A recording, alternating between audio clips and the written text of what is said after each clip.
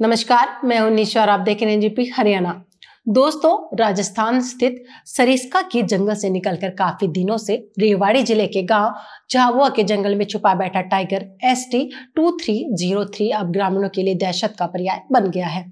पानी नाक तक आने के बाद ग्रामीणों में सरकारी सिस्टम के प्रति गुस्सा भी बढ़ता जा रहा है। ये टाइगर 17 अगस्त 2024 को रेवाड़ी ज़िले की सीमा से सटे अलवर ज़िले के मुंडावर क्षेत्र के गाँव दरबारपुर अहिर भगोला, व बासनी आदि के जंगलों से होते हुए झाबुआ गाँव में स्थित मोर एवं चिंकारा प्रजनन केंद्र के जंगल में पहुँचा था। उस दिन से अब तक यह टाइगर इस जंगल से बाहर आकर कई बार गुर्रा कर लोगों को डरा चुका है।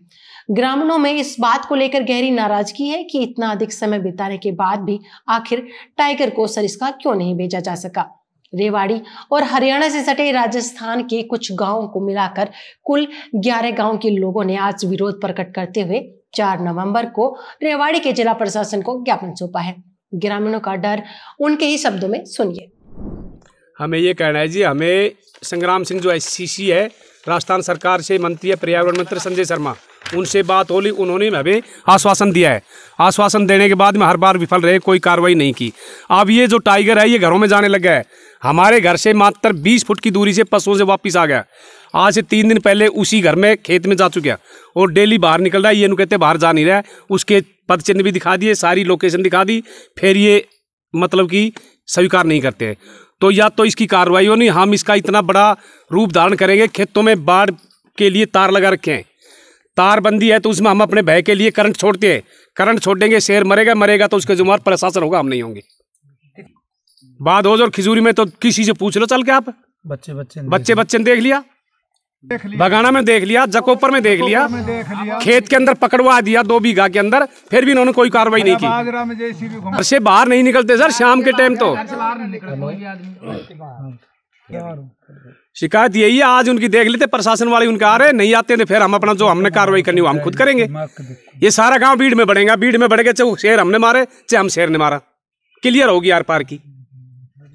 हम आपको यह बता दें कि साढ़े तीन वर्ष की उम्र का यह युवा टाइगर 17 अगस्त को झाबुआ के बीहड़ में पहुँचा था। झाबुआ का यह जंगल केवल 800 एकड़ के आसपास है। इसमें भी कुछ स्थानों पर निर्माण हो चुका है। टाइगर के लिए यहाँ जगह काफ़ी कम है।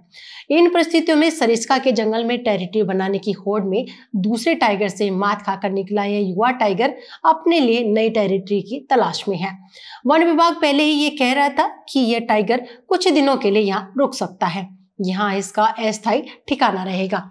इस बीच यह भी कहा गया कि झाबुआ के जंगल में पानी भी मौजूद है और शिकार भी।